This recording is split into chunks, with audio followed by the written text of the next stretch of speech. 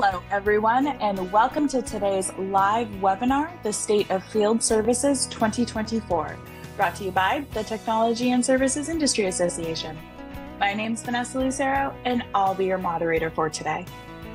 I would now like to introduce our presenter today, Vele Galovski, Distinguished Vice President of Research and Advisory for Support and Field Services for TSIA. As with all of our TSIA webinars, we do have a lot of exciting content to cover in the next 45 minutes. So let's jump right in and get started. Vele, over to you. All right, great. Thanks, Vanessa. It was uh, good to see you last week, and uh, we we uh, got a new headshot, so I can get rid of my high school photo uh, for the for that intro uh, in the uh, in the webinar. So, anyways, thank you. Hello to everybody, and welcome to today's webinar, State of Field Services.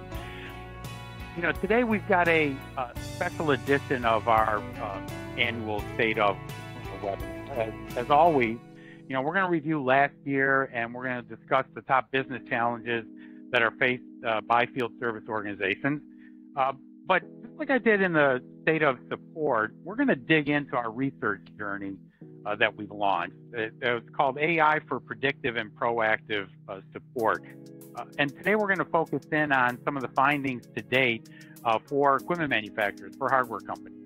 And uh, of course, we've got some uh, exciting insights uh, to share with, with all of you, including our top 10 list of recommendations for 2024.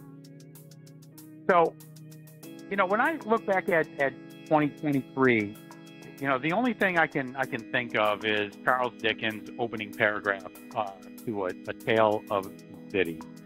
You know, I mean, depending on who you talk to, it was the best of times or it was the worst of times. We saw some wisdom, a lot of foolishness.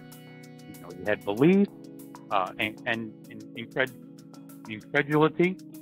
Vanessa, I, I still didn't get that right. Light, darkness, hope, despair. You know, people had everything in front of us and nothing before us, right? So it, everywhere you looked, you know, you saw this this dichotomy of facing uh, businesses across the board. And throughout 2023, we seem to be living and working in two completely different worlds at the exact same time. At the start of 2023, we had CEOs of the top two financial service institutions uh, uh, in the United States with diverging perspectives. Jamie Dimon uh, was forecasting a hurricane, and Brian Moynihan uh, felt that the consumer health was strong. So if, if you could just uh, take a couple seconds here and let me know. I mean, is your company right now, are, are you going through a workforce reduction?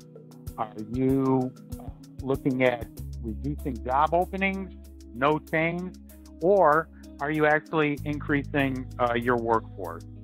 So I, I, just showed you the trends. Uh, I, I, always find this uh, to be really interesting in terms of uh, how it how it's playing out because you know, it's it's different. I I talk to uh, many many members on a on a day in day out basis, and it it never ceases to amaze me. Right? I can go from one call uh, in the morning where we're talking about, you know, yeah, I've I've got to uh, reduce my workforce, to the next call that says, where do I find people? I need more people to to staff these uh, critical jobs.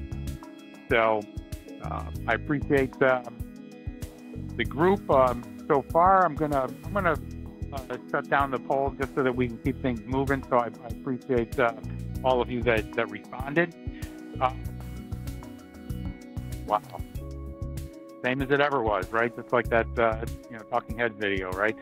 Uh, workforce reduction. 31% of you are doing a workforce reduction, uh, and 27% of you reducing your the, the job opening, 20% no change, and uh, you know almost one out of four of you are uh, actually increasing your workforce uh, at the same time. So still a little bit of a mixed bag. It's not all bad or all good uh, across the board. And you know, even though a lot of the conversation's been at or below the waterline, you know, I want to introduce you to this idea of you know, base campers and mountaineers, right? So we're going to kind of play on, on, some of the discussions that we've had so far.